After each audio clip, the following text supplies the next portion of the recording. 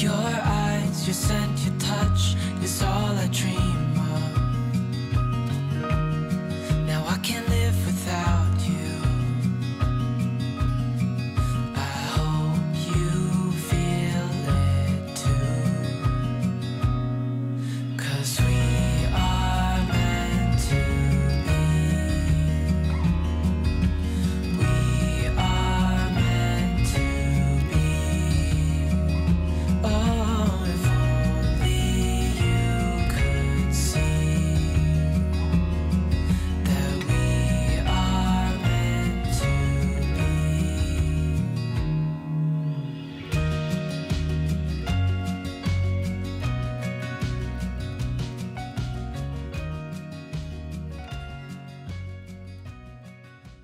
Si je fais cette vidéo back on track, c'est parce que j'ai reçu beaucoup de messages de personnes me disant Oh là là, normalement le 1er janvier, je suis hyper motivée, je commence bien l'année, j'ai de nouveaux objectifs, etc.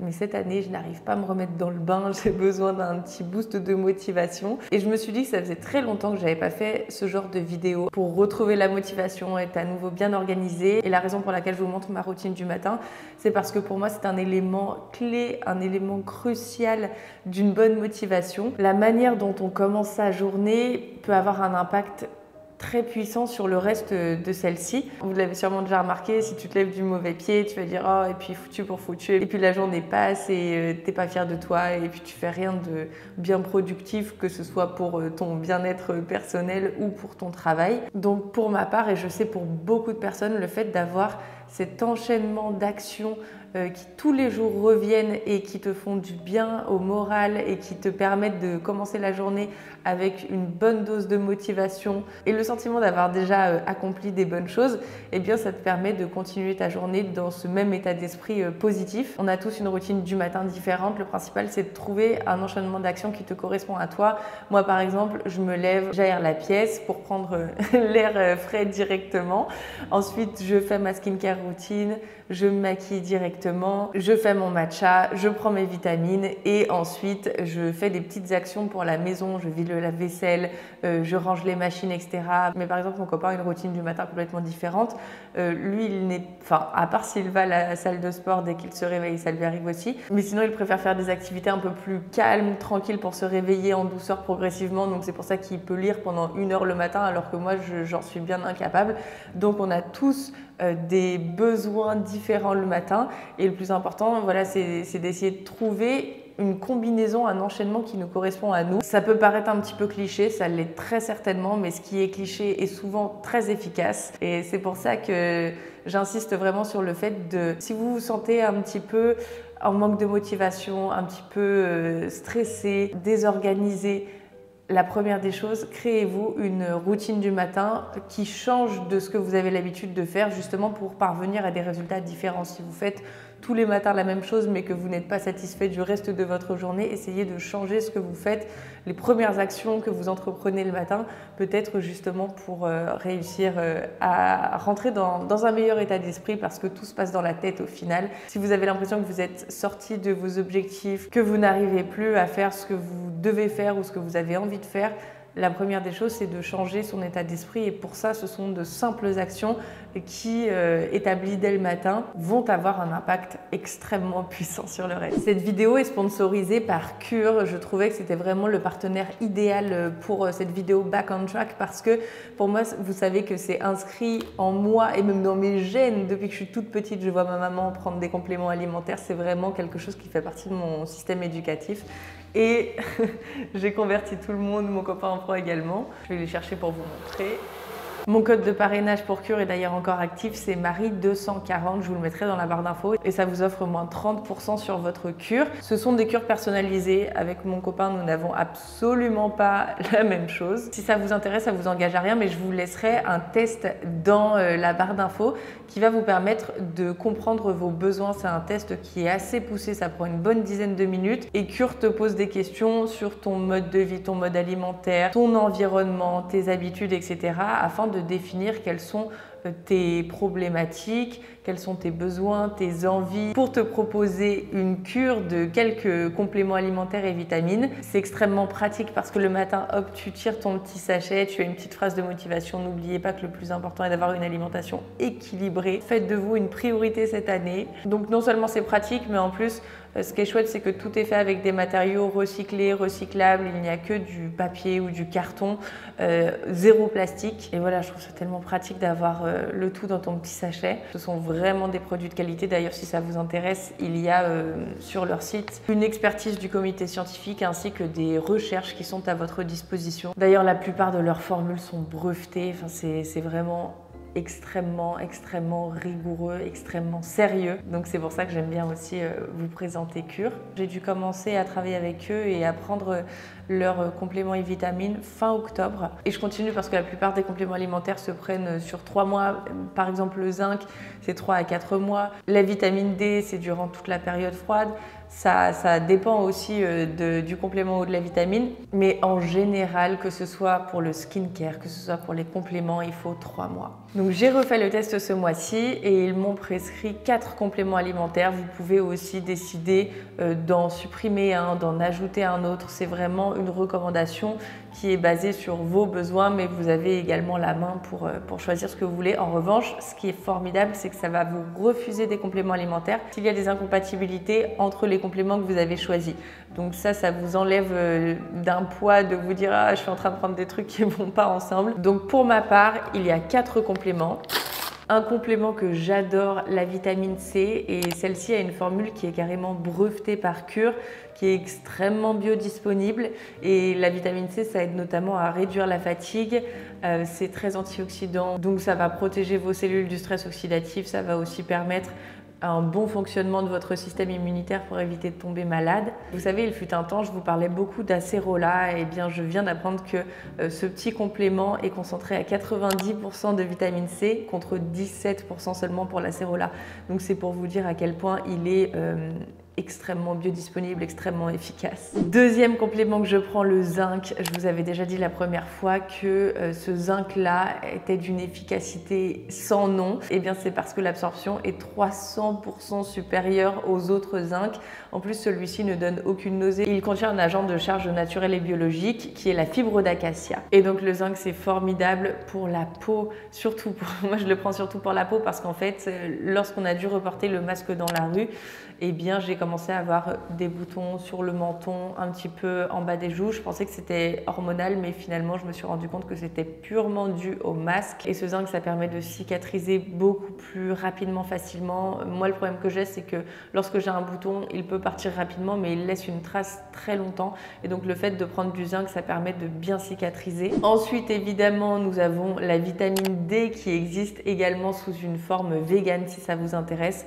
Mais la vitamine D, vous savez que je ne peux absolument pas m'en passer. Elle est synthétisée par notre corps grâce au soleil, mais voilà, durant toute la période froide, hivernale, eh bien, il n'y a vraiment pas assez de soleil et c'est pour ça que la majorité des Français euh, manquent de vitamine D. Or, pour le système immunitaire, c'est hyper important. Donc en fait, tous les compléments que je prends là, euh, c'est vraiment une combinaison qui est formidable pour éviter de tomber malade. Je ne me sens pas du tout fatiguée, je suis en pleine forme, euh, je suis dans un bon état d'esprit euh, positif, motivé. Et dernière chose pour lutter contre la fatigue hivernale, c'est le guarana. Je l'avais déjà testé lors de ma première cure. Et euh, j'ai adoré parce que, vous savez que j'ai arrêté le café. Or, la caféine, c'est quand même sympa. Euh, mais ça me faisait des sautes d'humeur. Donc, euh, j'ai décidé de prendre de la caféine sous une autre forme. Et donc, le guarana est concentré à 22% de caféine. ça vient du Brésil. D'ailleurs, ce complément est rigoureusement sourcé au Brésil. Et ce qui est bien, c'est que ça aide à réduire la fatigue physique et mentale également. Et apparemment, ça aide à la combustion des graisses. Donc euh, voilà mes quatre petits compléments alimentaires que je prends tous les matins. Et juste pour vous donner une petite comparaison, mon copain prend un petit peu plus de, compléments que moi ce mois-ci. Euh, nous avons le guarana et le zinc en commun, mais il a également des probiotiques, il a du boswellia. Donc voilà les amis, n'oubliez pas les vitamines, c'est un super allié pour réussir à se remettre sur le droit chemin, pour lutter contre la fatigue mentale et physique, pour être euh, remotivé et pour se sentir mieux. C'est un vrai geste self-care, donc si ça vous intéresse, n'hésitez pas à faire le test. Je vous le mettrai dans la barre d'infos pour savoir euh, ce dont vous avez besoin en ce moment. Et puis aussi, bah, je vous dis, j'ai mon code de parrainage euh, Marie240 qui vous offre moins 30%, c'est juste énorme. Donc je vous encourage vivement à prendre vos vitamines et boire beaucoup d'eau. ce sont les petites actions les plus simples qui font les plus grands changements. Mais encore faut-il être persévérant, rigoureux, patient.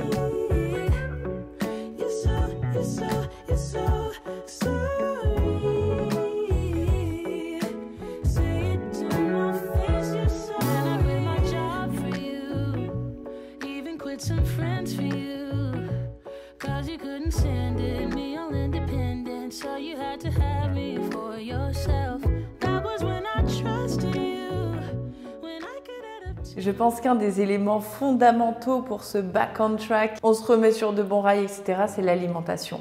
Nourrir son corps. Vous savez que ça fait partie de mon triangle d'or avec le sommeil et l'activité physique. Et en fait, je me suis fait la réflexion que si vous invitez vos proches à dîner, vous allez volontiers faire l'effort de cuisiner un bon petit plat bien savoureux. Donc, dans cette même optique de respect et d'envie de prendre soin des autres, faites volontiers l'effort de cuisiner pour vous. Alors je dis l'effort parce que oui, ça demande du temps, ça demande de l'imagination si vous n'avez pas de recette euh, déjà préparée, ou alors ça demande de la discipline si vous décidez de suivre une recette, ça demande de l'organisation parce qu'il faut toujours avoir euh, des choses dans son réfrigérateur et dans ses placards. Et donc ça, ça pourrait être aussi un, un des éléments euh, pour se remettre sur de bons rails, de faire le plein évidemment, mais de décider de ne pas aller à la facilité. Là par exemple, je pensais à ça parce que je n'ai presque plus rien dans mon réfrigérateur. Je vais faire les courses euh, là justement après.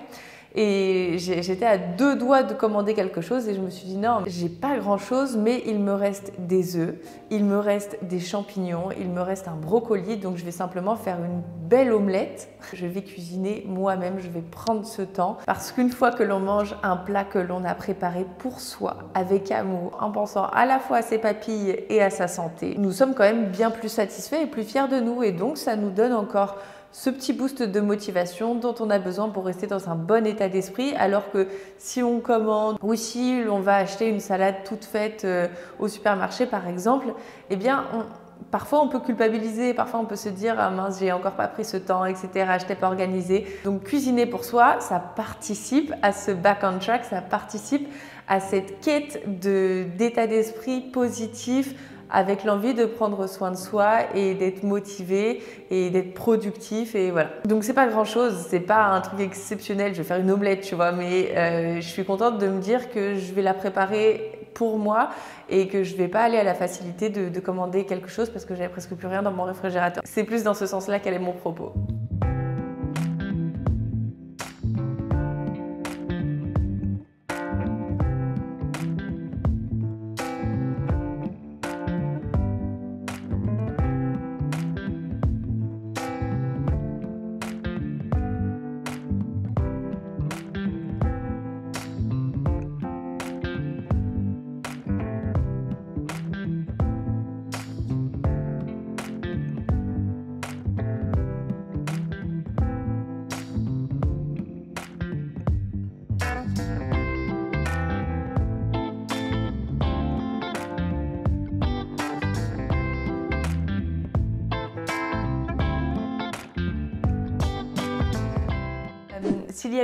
Une chose à laquelle je pense immédiatement justement euh, pour se remettre sur de bons rails, c'est de se débarrasser des tâches de fond.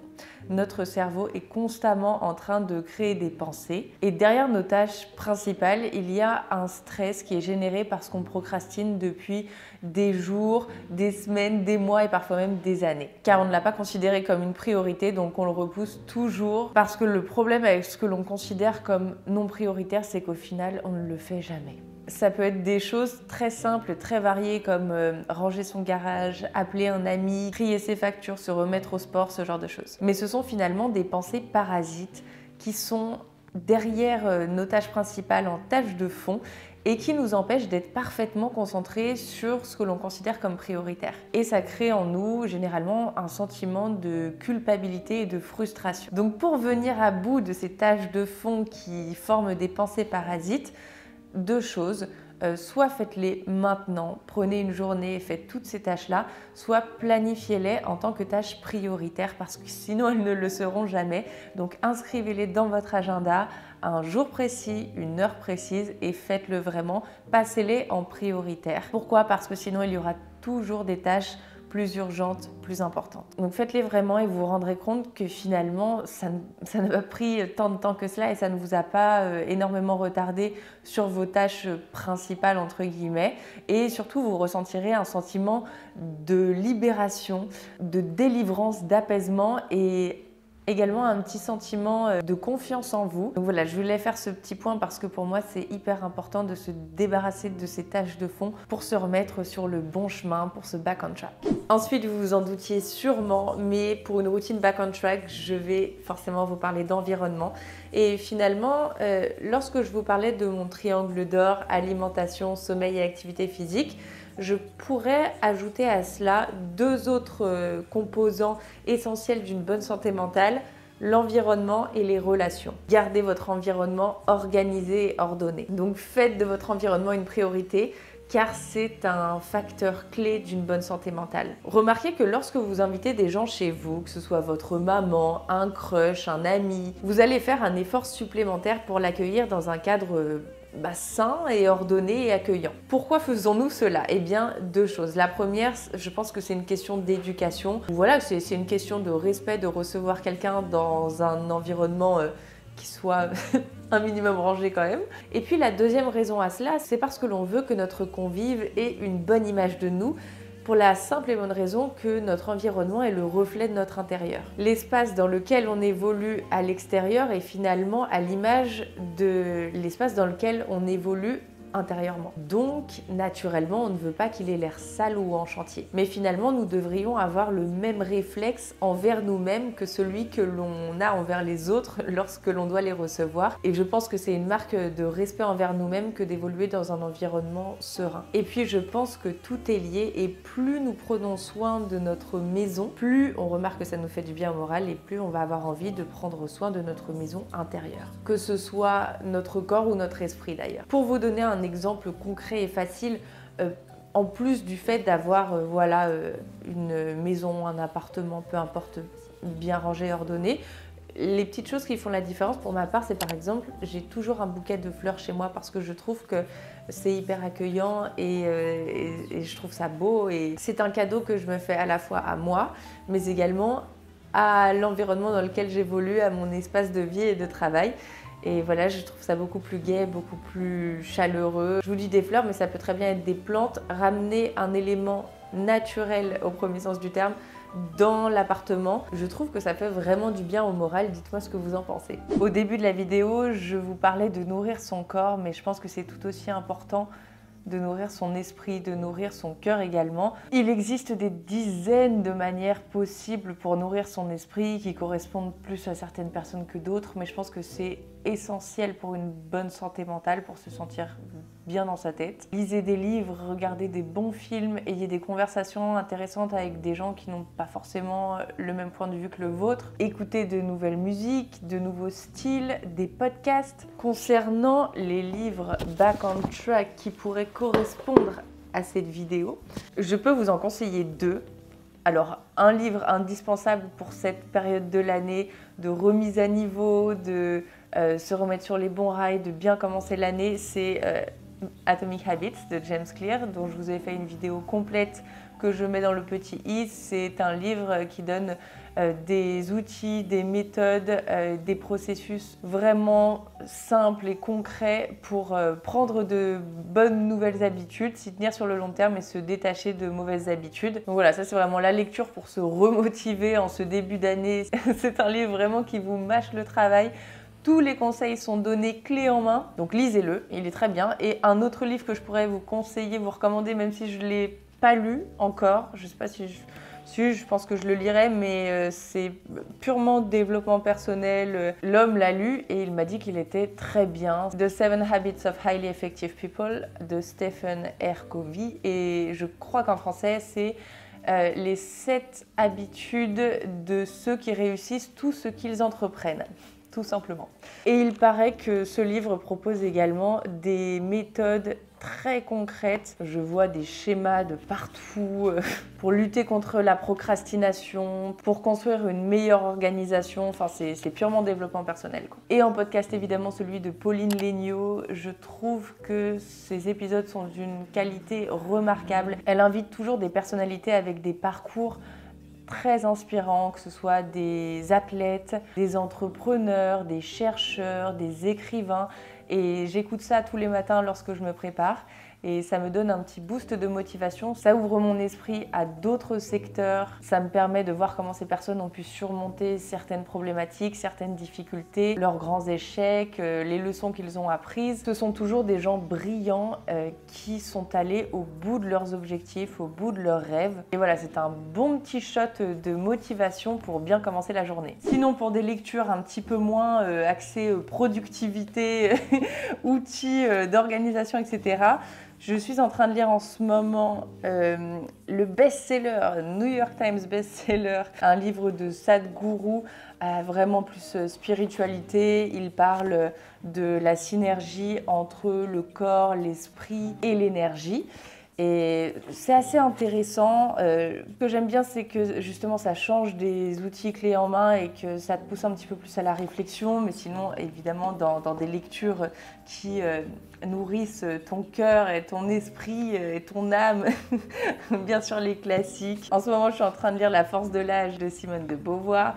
Sinon, évidemment, Nietzsche, Baudelaire, Verlaine, Victor Hugo, Marguerite Duras. Ces lectures qui nous permettent un petit peu plus de réflexion et un qui nous permettent aussi de nous évader. Et d'ailleurs, le dernier point que j'aimerais aborder dans cette vidéo, c'est justement l'exutoire. Je pense que pour une routine back on track, c'est important de trouver un ou plusieurs exutoires qui correspondent à un ou plusieurs sentiments. Nous avons tous des choses qui nous rendent tristes, qui nous mettent en colère, qui nous frustrent, et ce au quotidien. Que ce soit vraiment un petit sentiment... Euh, caché au fond de nous ou alors quelque chose qui nous énerve vraiment. Et donc plutôt que de voiler euh, ces émotions euh, négatives, eh bien c'est important de les identifier, de les reconnaître sans jugement envers soi parce que l'on n'y peut rien, c'est une émotion qui nous traverse, mais justement pour qu'elle nous traverse et qu'elle ne reste pas enfouie en nous, il faut accepter que l'on ressente cette émotion et puis surtout trouver un moyen de la faire sortir de nous. Vous voyez, c'est comme si elle rentrait dans notre cœur et il faut absolument qu'elle ressorte de l'autre côté. Alors justement, pour que l'émotion nous traverse, eh bien après l'avoir identifiée et acceptée, il y a deux choses très importantes à faire. La première, c'est de comprendre l'origine de cette émotion, euh, d'où ça vient, est-ce que c'est parti d'une dispute, est-ce que c'est parti d'un échec, une honte, une peur, vraiment connaître l'origine de l'émotion. Et enfin, l'extérioriser avec un exutoire qui correspond assez bien à ce que vous ressentez. Ce que je veux dire par là, c'est que si vous ressentez par exemple une colère qui vous brûle de l'intérieur, peut-être que ce qui vous soulagera le mieux, ce sera d'aller courir en fractionné ou de chanter très fort, alors que si vous ressentez une profonde tristesse, eh bien tu auras peut-être tendance à vouloir euh, écrire, jeter tes émotions sur le papier, voilà, au calme dans ta chambre. Et le fait euh, d'aller courir lorsque tu te sens triste, eh ben finalement peut-être que ça ne correspond pas. Donc voilà, l'exutoire très important. Et il peut varier en fonction des personnes et en fonction de l'émotion, mais je pense que c'est vraiment nécessaire pour extérioriser sa souffrance. Écoutez, voilà pour cette petite euh, routine back on track. Je pense que tous ces éléments-là permettent de retrouver une bonne motivation, de se remettre sur le bon chemin, de se sentir mieux dans son corps, dans son esprit, dans son environnement et peut-être même améliorer ses relations avec les autres et avec soi-même. Je vous embrasse très fort. On se rejoint tout de suite sur Instagram et puis sinon dimanche prochain à 10h du matin pour une nouvelle vidéo sur YouTube. Bye